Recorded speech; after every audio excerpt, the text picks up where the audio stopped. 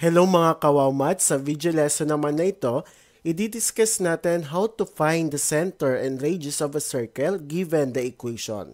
So kung matatandaan natin, yung uh, last two video lesson natin is about uh, to write the equation of a circle in standard form and in general form. So ito naman, given yung equation, kunin natin yung center and radius. Hindi kagaya dun sa uh, sa unang video lesson natin, given yung uh, given yung center sa radius tapos kunin natin yung equation. Kabaliktaran naman ngayon. Okay, for example number 1, find the center and the radius of a circle x squared plus y squared is equal to 64 and then draw its graph. So dito pa lang class, uh, given na equation natin, x squared plus y squared alam natin na yung center ng circle natin ay nasa origin. Bakit? x squared plus y squared. Diba ito yung uh, sa unang-unang lesson, video lesson, yung how to write the equation into standard form, na kapag yung center ng circle ay nasa origin, so ito yung magiging formula, no? Okay, ito yung magiging equation natin. x squared plus y squared plus is equal to the given radius. So, dito pa lang alam natin na ang center ng circle natin ay nasa origin. So, since nasa origin yung circle natin, so we're going to use this. x squared plus y squared is equal to r squared. So, alam natin na ang center natin o yung uh, ordered pair ng orig origin natin ay 0, 0. Okay? So, x squared plus y squared is equal to 64. So, ano yung, uh, ang, para mas madali class, ang gawin nyo, ano yung square root ni 64? Tapos, squared nyo na lang. Okay, so that is x squared plus y squared is equal to, so yung square root ni 64 is 8. So, 8 squared kaya 64. Kaya 8 times 8, 64. So, para mas madali, no? Mas madali yung kunin. So, square root ni 64, that is 8. So, therefore, that is 8 squared. So, masabi natin that the center of the circle is 0, 0, and its radius is 8 units. Okay? So, that will be the center and radius kapag ang equation natin ay x squared plus y squared is equal to 64. So, therefore, kapag drino natin yung graph nito, okay, yung center ng circle natin ay nasa origin. And then, yung radius natin ay 8 units. So, kapag nagbilang ka simula dito sa center, papunta dito sa uh, circumference ng circle natin, so dapat 8 units. So, mula dito, 1, 2, 3, 4, 5, 6, 7, 8. So, ka, ganun din dito or ganun din dyan. Okay? So, yun yung radius natin. Okay? Yung distance ng line natin from the center of the circle. Okay, how about kapag hindi, uh, how about kapag yung origin na ay yung center ng circle natin ay hindi sa origin, kagaya nito. So, x minus 2 squared plus y minus, minus 4 squared is equal to 25. So, anong gagawin natin kapag ganito ang given? So, since ang circle natin ay wala sa origin, okay, so ga apply natin yung formula na to. x minus 8 squared plus y minus k squared is equal to r squared. So, actually, madali lang kunin yung center nito eh. Bakit? Dito lang yung nakukuha class, di ba? Yung value ng h and k natin. So, yung value ng h and k, di ba? Yung center natin is yung value ng h and k. So, ano ba yung value ng h natin sa equation natin? Di ba? So, Since square, uh, 25 to, kunin natin square root ng 25 para ma-square natin. So, that is 5 squared. So, pag ganitong given class, madali lang kunin yung ano, yung center ng radius, ay yung center ng circle natin. Ito lang yun eh. Ito yung value ng h at ito yung value ng k. So, therefore, uh, that is 2 and 4. Okay? 2 and 4. Pero kapag plus to, kapag positive, ibig sabihin, negative yung ano natin, h natin. Kapag plus to, ibig sabihin negative yung k natin. And then yung radius natin, kunin mo lang yung square root nito, yun yung radius natin. Okay?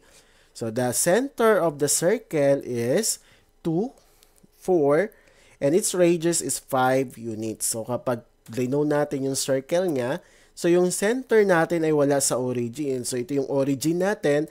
So yung center natin na ay makikita, matatagpuan natin sa 2, 4, no? So 1, 2, 3. Okay, so ito. Dito natin makikita yung center. So kapag binilang mo mula sa center, Okay, yung distance ng radius natin, 1, 2, 3, 4, that is 5 units from the center of the circle. Okay, paano kapag ganito? Given yung general form, nung, uh, yung equation natin is yung general form. So, paano natin makukuha yung center sa yung radius nito? Okay, so first, apply natin, kailangan gawin nating perfect squared, okay, pagsamahin muna natin itong x squared, yung same yung va- uh, variable natin class. Yung same yung variable pagsamahin natin. So, si x squared minus 6, 6x. So, magkasama sila. Same ng variable, x, no? Tapos si y squared minus 10y, magkasama rin. And then si 18, lipat na natin sa left side, uh, sa right side, okay? From positive 18 so naging negative 18. So ang goal nating class ay gawin natin silang perfect square trinomial. So paano ba ginagawa yung perfect square trinomial? So una, kunin natin, okay, kunin natin yung numerical coefficient sa ano natin, middle term natin. Okay, itong negative 6x. Okay, yung value ng, di ba sa uh, quadratics. Okay, sa quadratic class, ito ay nilit natin as A, B, and C. No? So, kunin natin yung value ng B natin and that is negative 6. And then, kunin yung 1 half ni negative 6, i-divide natin ito kay 2. So, ganun palagi class, i-divide natin ito kay 2. And then, negative 6 divide 2 is negative 3. And then, yung nakuha natin na quotient from negative 6 divide 2 na negative 3 squared natin. That is equal to 9. So, ibig sabihin class, ang idadagdag natin dito para maging perfect squared trinomial is positive 9. Ulitin ko class ha. So, para maging perfect squared trinomial to, ang gawin natin, kunin natin yung value ng b natin. Okay, yung value ng b natin is negative 6, tapos divide natin kay 2, or get the 1 half of negative 6, that is negative 3. Then squared natin si negative 3, the answer is positive 9. So positive 9 ang idadagdag natin. Okay, so it, tapos na tayo dito. So again, ang idadagdag natin dito is positive 9. Dito naman tayo.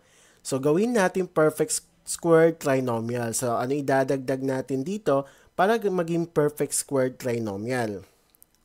So, kunin ulit natin yung value ng b and that is negative 10 and then uh, negative 10 divide 2 or 1 half of negative 10, the answer is negative 5. Squared natin si negative 5, the answer is 25. So, ibig sabihin class, ang idadagdag natin dito ay 25. So, kapag nag-add tayo dito ng 9 at ng 25, ganun din sa kabilang equation natin. So kung anong dinagdag natin dito sa kabilang sa left side ng equation natin, idadagdag din natin yan sa right side ng equation natin. So mag-a-add din tayo dito ng 9 at ng 25. So magiging x minus 6x plus 9 plus y squared minus 10y plus 25 is equal to negative 18 plus 9 plus 25. So ito yung sinasabi ko na kailangan din natin magdagdag dito sa right side. Kung anong dinagdag natin sa left side, yun din ang i-add natin dito sa right side. And then after nito class, gagawin natin silang squared of binomial.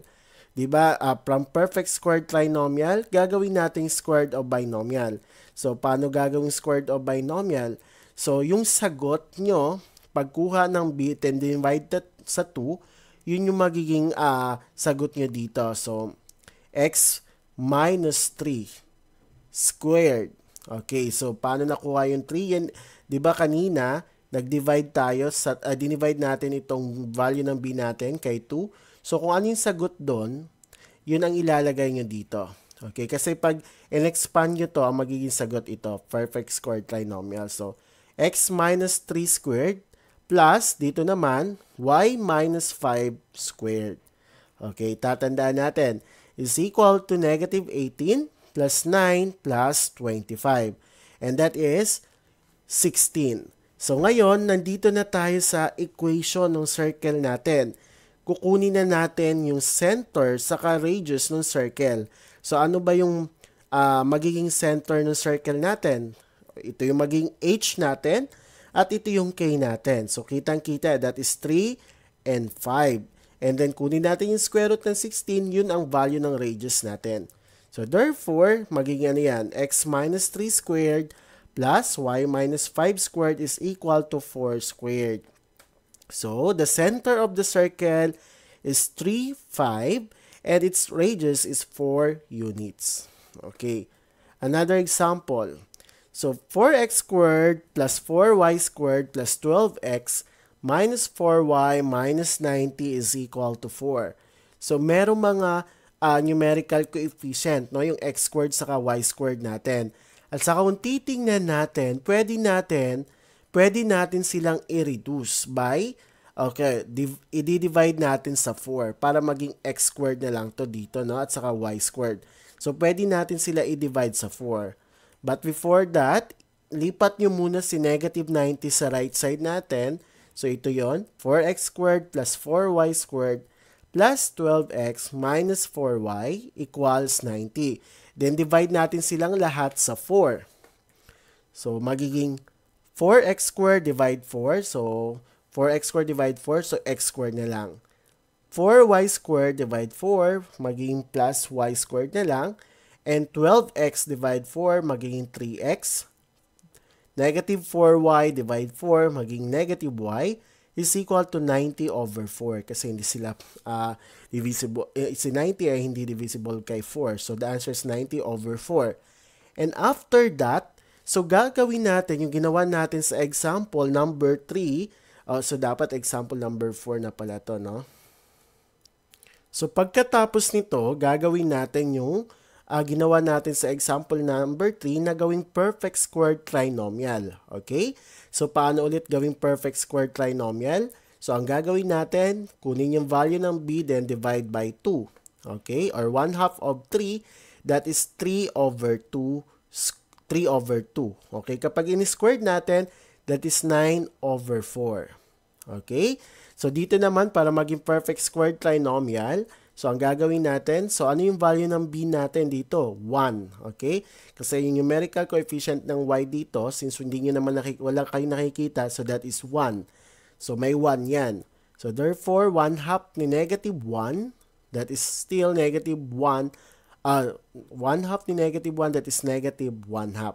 And then, squared natin, that is 1 ne negative 1 times negative 1 that is positive 1 and negative 2 times negative 2 that is 4 so da kaya naging 1 fourth so therefore ang idadagdag natin dito is pa 9 over 4 dito naman 1 fourth so kung dinagdagan natin dito ng 9 over 4 saka 1 fourth dadagdagan din natin si 90 over 4 ng 9 over 4 saka 1 fourth Okay, so magiging ganito yung equation natin. So, x squared plus 3x plus 9 over 4 plus y squared minus y plus 1 fourth is equal to 90 over 4 plus 9 over 4 plus 1 fourth or 1 over 4. And then, ito pwede natin i-add since similar fraction sila, uh, or ano, hindi pala sila similar fraction. Since same yung mga num denominator natin, madali na lang i-add yung numerator natin. Okay? So, pwede natin i-add yung numerator natin. So, 90 plus 9, that is 99 plus 1, 100. So, 100 divide 4, that is 25. So, dito naman, gagawin natin squared of binomial. So, paano? So, yung sagot natin dito na pag-divide sa 2, yun ang ilalagay nyo. Para di kayo mahirapan x plus 3 over 2. So, ito yun, di ba? Para di kayo nahihirapan. And then, ah, dapat naka-squared. Dapat may squared to class. Okay, so, so magiging ano na to, x plus 3 over 2 squared plus. Since dito class negative, so dapat negative din ang gagamitin nyo at dapat y na lang to. So that is y. Okay, so magiging y minus 1 half squared is equal to 25. And after that, so kunin na, makukuha na natin yung center ng circle natin kasi kuha na natin yung value ng h natin at ito naman yung value ng k natin. And then kunin natin yung square root ng 25 para yun yung value ng radius natin. So maging x plus 3 over 2 squared plus y minus 1 half squared is equal to 5 squared. So therefore, the center of the circle is negative 3 over 2. So sabi ko nga sa inyo class kanina, kapag positive yung nandito, so that is negative 3 over 2 yung value ng h natin o yung x coordinate natin. And dito, that is 1 half. So, positive. So, therefore, 1 half, kapag uh, minus dito ang nakita nyo, and this 1 half, so that is uh, positive yung value ng k natin or yung y coordinate natin. And yung radius natin, square root ng 25, kaya, nag kaya 5 units.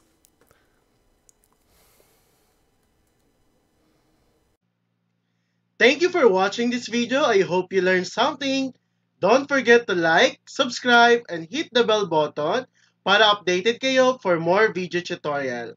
This is your guide in learning your math lesson, your Wow Math channel.